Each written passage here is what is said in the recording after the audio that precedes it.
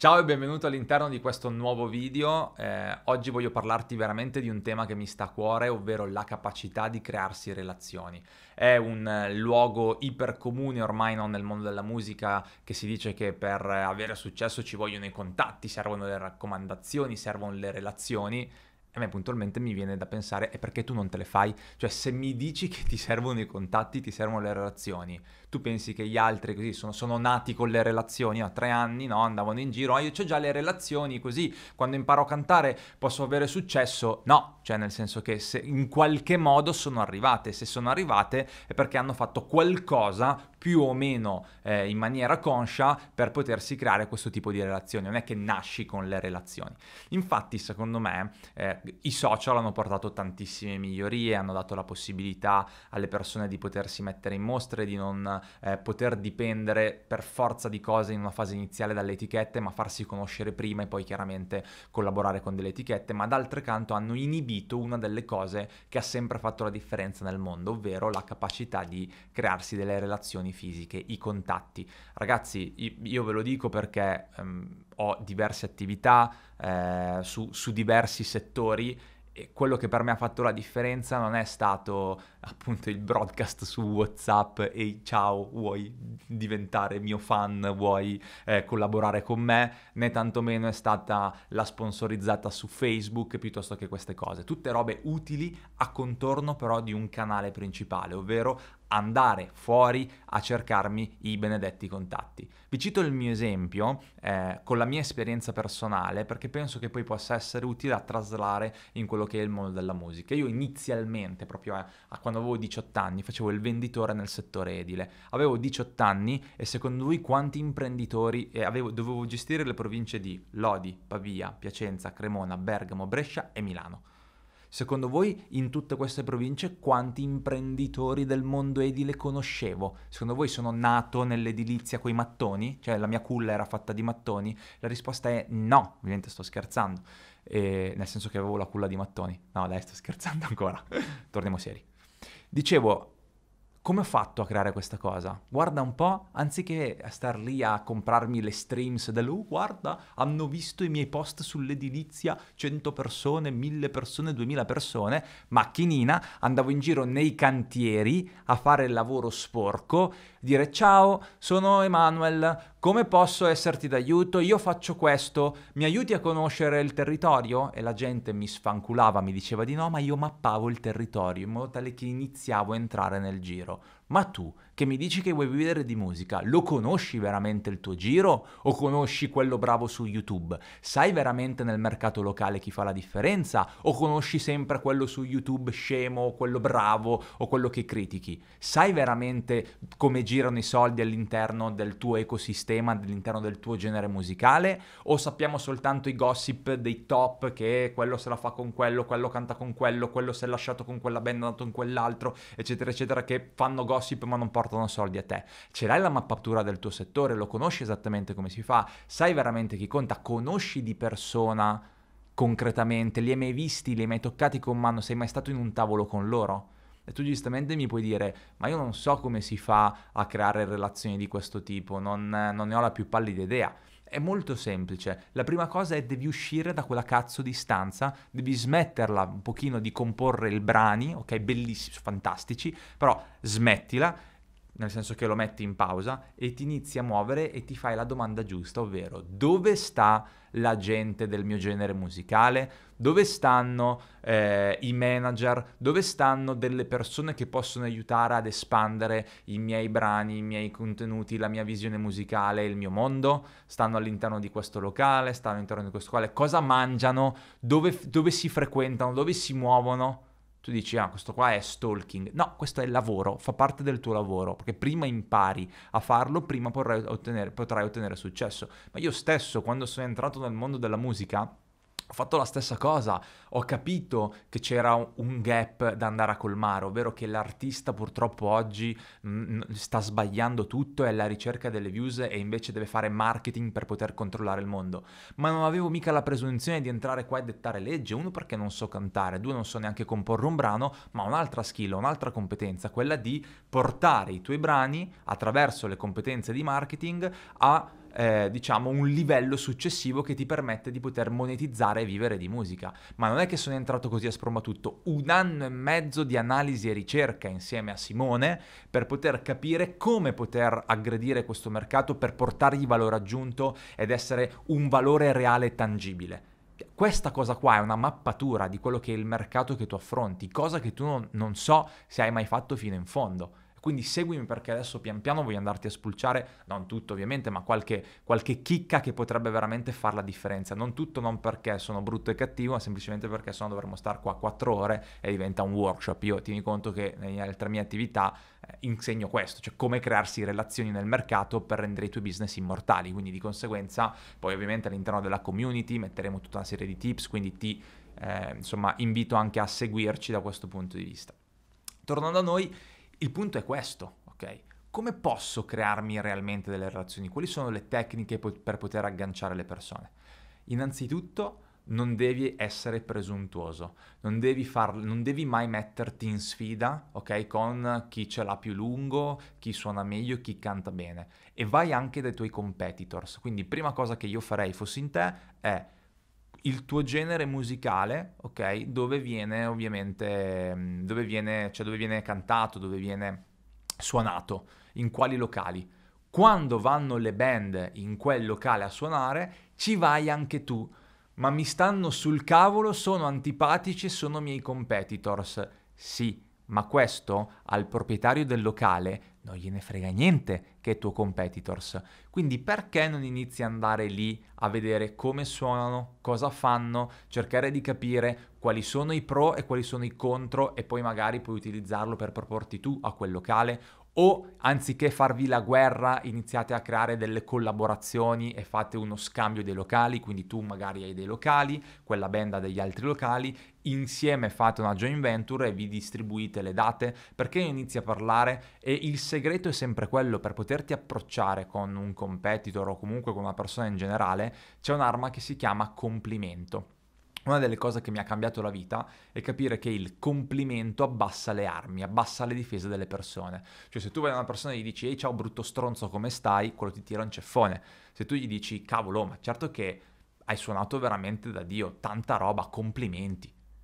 Quello si scioglie e ti dà ascolto perché? Perché la gente tutti i giorni piglia insulti dalla mattina alla sera, viene ipercriticata, arriva il primo che gli fa un apprezzamento è nell'essere umano, proprio nostra, nel nostro interno la voglia di, di, di, di sentirselo dire ancora, è dopamina no? per, per, per, il nostro corpo, perché dice ah cavolo ne voglio ancora, ne voglio ancora, ne voglio ancora, quindi il complimento abbassa le armi, toglie le difese e permette di instaurare un rapporto chiaramente con la persona. E questo è un primo, secondo me, eh, impatto, che, cioè una prima cosa che fa davvero la differenza nel installare delle relazioni, il complimento che abbassa le armi difensive, perché se tu vai eh, da una persona inizi a dirgli ciao, collaboriamo insieme, eh, quello ti dice ma che cazzo vuoi, chi cazzo sei, ma vaffanculo. Questo è quello che ti dice. Se invece tu gli dici ciao, complimenti perché suoni veramente bene, Ah, grazie, grazie, fantastico, sono molto contento di questa cosa, eh, mi, fa, mi, fa, piacere. Faccio, no, ma veramente ho apprezzato perché sai, anch'io suono, ma devo dire, devo essere onesto, questa cosa cioè, chapeau, complimenti, l'hai, l'hai, fatta correttamente, anche l'accordo così, guarda, mi è piaciuto tantissimo. Ah, cavolo, figata, guarda, sono veramente contento, anche perché, dai, alla fine si vive di queste cose, no? Si vive di emozioni, si vive di, eh, di far piacere agli altri. Poi detto da un artista, mi fa veramente piacere perché vuol dire che allora la qualità c'è. Tu che cosa suoni? Come ti muovi? Ma guarda, io faccio questo... Hai visto? Si già creato... Cioè, è una roba st- tratto da storie vere, non mi puoi dire che non è così, perché sono convinto che in maniera inconscia anche tu a volte ti è capitato di fare degli apprezzamenti sinceri. Con questo non ti sto dicendo che devi mentire spudoratamente, cioè uno se fa cagare non gli puoi fare un complimento, giusto? Però di base è trova il sistema per trovare un apprezzamento per creare rapporto, questo sia con i tuoi competitors che non con i tuoi competitors. Come potersi approcciare invece con una persona che è superiore a te dal punto di vista della percezione, perché poi un altro problema è che spesso, e io questo lo capisco, è una cosa assolutissimamente naturale, hai paura a rapportarti ed approcciarti con persone che a livello di autorità sono superiori a te, eh, perché giustamente tu dici, oddio come faccio, non mi cagherebbe mai. Invece ti posso dire che non è assolutamente così, perché io mi sono trovato in condizioni in cui per le persone ero, tra virgolette, la figura eh, autorevole o a livello sociale più in alto rispetto a altri. Mi è capitato in, in diversi contesti, in diversi ambienti e percepivo che da parte delle persone c'era un po' di soggezione nel chiedermi le cose o nel parlarmi o nel volermi proporre delle cose. Ma tu devi sapere che le persone che si trovano in quel frangente sono lì che non vedono l'ora, non vedono l'ora di conoscere artisti emergenti, gente umile con le palle, con la voglia di fare, perché si immedesimano, perché intravedono, perché vedono la possibilità. Quello che odiano gli sta sul cazzo è l'artista che si deve sboroneggiare, deve per forza far vedere quanto ce l'ha lungo. Perché che cosa succede? Quando tu trovi una persona che a livello sociale è più potente di te, non hai l'umiltà di dire no, guarda che eh, io sono, eh, ho ancora tanto da fare rispetto alla strada che tu hai percorso. No, vanno lì e cercano di mettersi alla pari per avere un confronto alla pari, che è da un lato eh, naturale perché a nessuno piace sentirsi inferiori da questo punto di vista, dall'altro è stupido perché se sei palesemente inferiore non è che dall'altro non capisce che ti stai cercando di pomparti più di quello che sei, a volte quindi essere te stesso ti aiuta a creare rapporti e relazioni. Ti do un paio di esempi di quello che potresti fare. Io all'inizio, quando ci siamo eh, mossi all'interno del mercato musicale, quindi ti prendo proprio questo settore, abbiamo contattato diversi big delle etichette, diversi top DJ, top cantanti, top artisti. Sai cosa abbiamo scritto? Gli abbiamo scritto all'interno dei social e gli abbiamo detto buongiorno, siamo Emanuele e Simone. Guarda, abbiamo iniziato ad avviare un progetto nella musica perché crediamo che la musica abbia bisogno di questo valore che è venuto a mancare. Ci piacerebbe fare un, un'intervista e conoscerti per capire qual è la tua visione all'interno del mercato del mondo musicale. E non l'abbiamo scritto al, passami il termine, bella zio, bella bro in casa che ha un like del Bangladesh forzato e l'altro è la mamma perché l'ha fatto lui col, con l'account della mamma, manco la mamma gliel'ha dato. Abbiamo contattato top. Chi sono questi top? Posso dirteli perché saranno all'interno della community, quindi abbiamo le interviste, quindi shh, non posso ancora spoilerarlo, altrimenti Simone si arrabbia. Detto questo, il punto è è una figata farsi così, perché anche noi abbiamo ricevuto dei no, abbiamo della gente che non ci ha minimamente cagato di striscio, ma tantissimi invece che ci hanno detto, oh, finalmente dei ragazzi che si pongono in modo carino e vogliono, fa- vogliono conoscere questo mercato. E quando abbiamo fatto la call, non abbiamo detto noi siamo i geni del marketing, tu non capisci un cazzo e la musica funziona così, anche se lo pensiamo, ok? Ma il concetto abbiamo detto guarda, noi crediamo che la musica abbia bisogno di questo, c'è questo vuoto di mercato, lo vorremmo colmare in questo modo. Cosa ne pensi? E molti hanno detto geniale, vogliamo collaborare. Guarda un po' cosa è successo lo stesso vale per te. Quando ti provi con queste persone, poniti con un'intervista, chiedigli come hanno fatto. Alla gente piace parlare di sé. Se tu ci fai caso, a tutti piace raccontare di sé, raccontare la propria storia, le proprie difficoltà, i propri successi. Falli parlare, sfogati. Io mi ricordo quando presi una volta un, uh, un cliente che è un personaggio dello, dello spettacolo molto noto. Eh, io quello che ho fatto è stato molto semplice. Io ho detto, ciao, Puoi per favore parlarmi di te, mi racconti la, la, tua storia, cosa ti ha permesso di diventare quello che sei. È finita che alla fine della chiacchierata è durata un'ora e mezza, ci siamo anche emozionati, tra virgolette, perché mi ha raccontato le sfide, i successi, il percorso. E alla fine abbiamo deciso di collaborare insieme perché abbiamo trovato un feeling. Non abbiamo parlato mica di prezzi, non abbiamo parlato di niente. Questa cosa qua ragazzi è importante, impara a far parlare le persone, fargli raccontare la, sto- la, la loro storia, i loro successi e entra con l'ottica del io voglio prendere esempio perché ti stimo per quello che hai fatto, ho ancora tanto da fare e mi piacerebbe prendere ispirazione da te, perché in questo modo fai sentire importanti le persone e se notano che in te c'è una persona che ha veramente voglia di fare, e ha la stoffa, e ha la cattiveria, ha la, la, voglia di emergere, gliela danno una mano, perché è quello che succede a me tutti i giorni all'interno di, di tutti i contesti chiaramente che frequento. Quando vedo persone che hanno voglia, che sono umili e che sono lì predisposte per imparare no? a fare la gara a chi ce l'ha più lungo, io se posso gli apro le porte, gli do tutta la mano, anche più di quello che, che, che dovrei fare, perché è questo che fa la differenza nel mercato e e, c'è anche questo luogo comune stupido, secondo me, nel pensare che le persone che stanno in alto, no? i manager, i produttori, sono solo degli opportunisti. ma probabilmente è anche vero, nel senso che guardano le loro economie, guardano al loro posto, eccetera, eccetera, eccetera. Però credimi che se inizi a crearci un feeling, un rapporto del genere, avranno la capacità di trovare un posto anche all'interno del loro mondo per te. Penso che questa sia un'altra mossa che possa farla davvero la differenza. E poi è esci, cerca di creare collaborazioni, cerca di fare scambio merce, armati di bigliettini da visita. Come cazzo fa un artista non avere un bigliettino da, misi, da visita? E non fare, non fare la cagata, ok? Perché questa è un'altra roba che mi ha fatto imbestialire. Mi ricordo una volta a un evento, stavo facendo un evento e è arrivato un ragazzo e mi fa ciao questa è la mia demo, la puoi ascoltare così magari visto che tu hai tanti agganci eh, ti per, la puoi far sentire. Cioè, guarda, che cazzo vuoi?